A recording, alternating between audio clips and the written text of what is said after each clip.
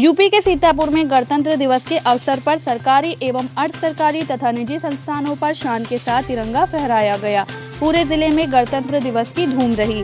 ज़िले के मोहली तहसील क्षेत्र में गंगा चतुर्भुज सेवा संस्थान इंटर कॉलेज तथा माँ कमला देवी शिक्षण संस्थान शक्ति लर्निंग टेंपल स्कूल, स्वर्गीय Chhedi memorial school, Saraswati Vidya Mandir inter college तथा कृषक इंटर कॉलेज तथा आदर्श नगर पंचायत मोहली सहित अन्य स्थानों पर गणतंत्र दिवस मनाया गया।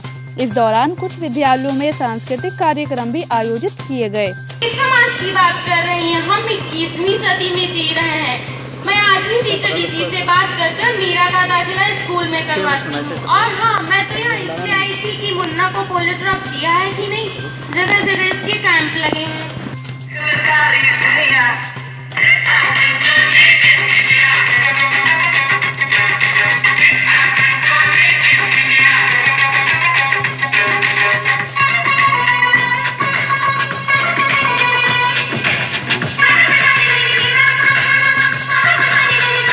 महोली एसडीएम नीरज प्रसाद पटेल ने जहाँ तहसील परिसर में ध्वजारोहण किया, वहीं आदर्श नगर पंचायत परिसर में यहाँ की अध्यक्षता सरिता गुप्ता ने राष्ट्रीय ध्वज को फहराया।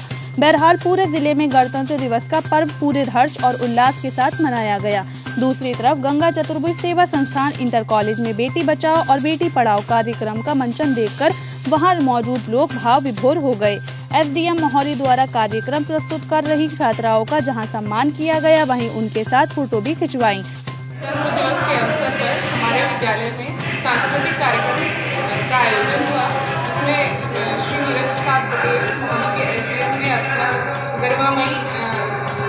उपस्थिति दर्ज करी है और इसी प्रकार से हम अपने विद्यालय में बच्चों को अच्छी शिक्षा देने का पूर्ण प्रयास कर रहे हैं और अपने विद्यालय में उनके बच्चों को आगे बढ़ने की प्रेरणा